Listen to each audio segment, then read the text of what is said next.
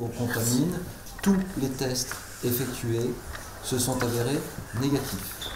C'est une bonne nouvelle, euh, bien entendu, euh, pour les contamineurs, puis euh, j'imagine aussi pour vous. Je vous mentirais en vous disant que vous allez me manquer, mais je crois que cette nouvelle nous permet de rester, bien entendu, en éveil et en vigilance, puisque le dispositif n'est pas levé, mais nous permet surtout d'être rassurés pour les enfants des contamines.